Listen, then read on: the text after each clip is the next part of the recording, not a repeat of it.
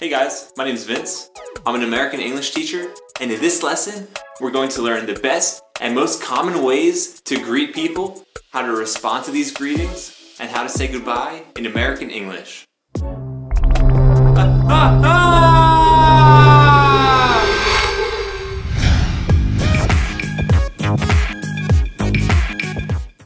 This is the first part of my How to Sound Like a Native English Speaker video series. Americans almost always speak informally with friends and family. Many of us are even informal with strangers and authority figures.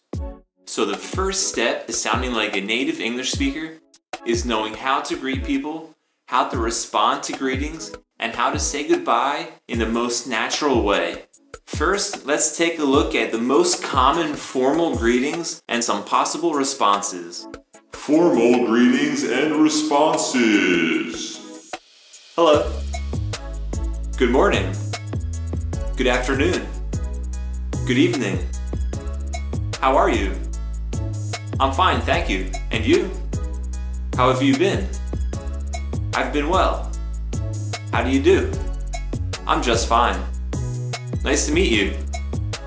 Likewise. Pleased to meet you. The pleasure is mine. Now let's see the most common formal goodbyes. Formal goodbyes. Goodbye. Take care.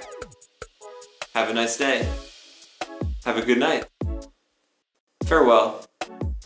Until next time. Good night. Now let's look at the most common informal greetings, responses, and goodbyes. This is the way that most native English speakers from the United States talk to one another. Informal greetings and responses. Hi. Hey. Hey you. Hey man. Hey brother. Hey brother. Hey bro. Hey cuz. Hey dude. Hey guy. Howdy. Howdy is used in some parts of the southern United States. It has a very rural or country sound. It reminds me of how cowboys talk. Hi there. Hey there. Good to see you. Yeah, it's nice to see you too. Great to see you. You too.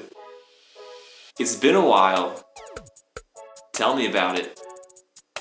This means I agree. Long time no see. These greetings express that you haven't seen a person for a long time. Morning, afternoon, evening. These are informal ways of saying good morning, good afternoon, and good evening. The following questions are informal ways of asking, How are you? How's it going? Not bad. How about you? How's it hanging? All is good. How is everything? Pretty good. How's everything going? Can't complain. How are things? The usual. How are you? Surviving. How's life? Couldn't be better. How you been? I'm hanging in there. You been good? Yeah, for sure. And you? How you feeling? I'm okay. The following questions are a bit different from the previous ones and usually aren't answered the same way. These start with the question word what, which indicates that it's inappropriate to respond with good, not bad, okay, or any other common response to the question how are you? Pay attention to the responses to the following questions. What's up? What's up can also be pronounced What's up? Not much. What's up with you? What's going on? Not a lot. What's going on with you? What's happening? Just keeping busy. What have you been up to? Nothing much. You? What's new? Same old. Or you can say, same old, same old. These mean nothing new. Informal goodbyes. Bye. See ya. See you later. See you soon. See you next time. See you around. Talk to you later. Take it easy. Catch you later. Be safe. Be easy. Have a good one. Have a good one means have a good day. See you later, alligator. After a while, crocodile. It's common for the phrase, see you later, alligator, to be completed with the response, after a while, crocodile. Later, alligator. Toodles. Toodles is a silly and effeminate way to say goodbye, but it can also be used sarcastically or mockingly. Sayonara.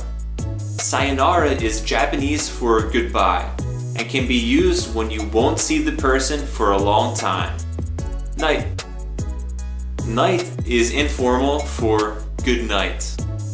So long. The following expressions mean I've got to leave. I gotta take off. I gotta head out. Now let's see some super informal greetings, responses, and goodbyes. These are generally used by young people and often make use of slang and ungrammatical structures. Super informal greetings and responses. Yo. Yo. Hey. Ayo. Holla. What up? Chillin'. Chillin' means hanging out, relaxing, doing nothing special. Sup? Nothing. Sup is a condensed version of what's up. Sup, B? B means brother. Just kicking it. Kicking it has the same meaning as chillin'. Sup, G? G means gangster. The usual. The usual means the usual. You alright? Or you can say, you alright? I is an informal way of saying alright. Yeah, just coolin'. Coolin' has the same meaning as chillin'. You good? For sure. For sure means for sure or certainly. How you living? I. All of the following questions starting with what have the meaning what's up? What's good? Shit. In this context, shit means nothing. What's really good? Chillaxin. Chillaxin is a combination of chillin' and relaxing. What's crackin'? Straight steezin'. Straight means entirely or absolutely, and steezin' means chillin' or relaxin', but it can also mean being stylish. What's poppin'? Nada. Nada is Spanish for nothing. What's cooking? Jack shit. Jack shit means nothing. What's the dilly? Same shit, different day. This means the same thing every day. Look what the cat dragged in. This is a funny way of saying, look who's arrived, because it compares the person to a dead animal that a cat has brought inside the house. Anyone who has a cat will know that sometimes cats do this. Super informal goodbyes. Later. Later on. Late. Peace. Peace out. Deuces. One. One love. The following expressions mean I'm leaving. I'm out. I'm outie.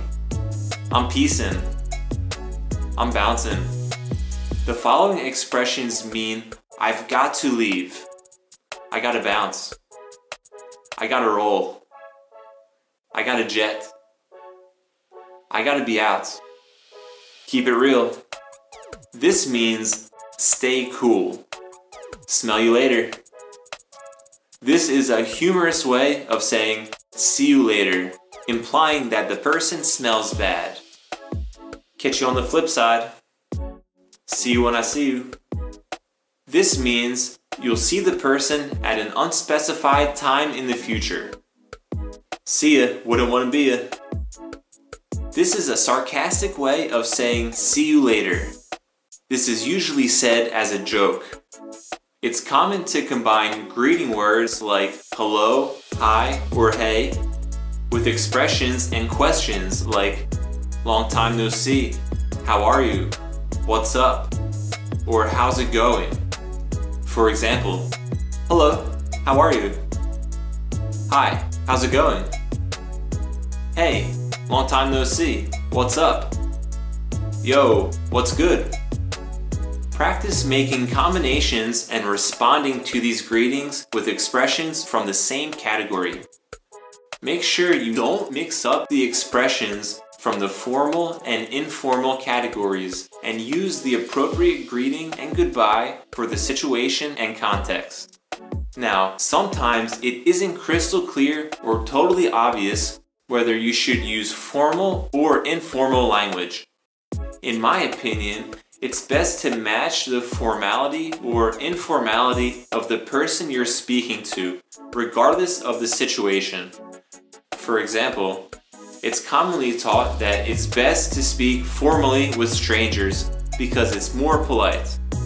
However, if a stranger approaches you with an informal greeting, it would be more appropriate to respond informally, regardless of the situation or context. Likewise, if a person approaches you with formal language, it would be better to respond formally even if you're in an informal context. This will most likely make the person you're speaking to feel more comfortable. Thanks for watching guys. Please like this video and subscribe to the channel for more English lessons. See you next time.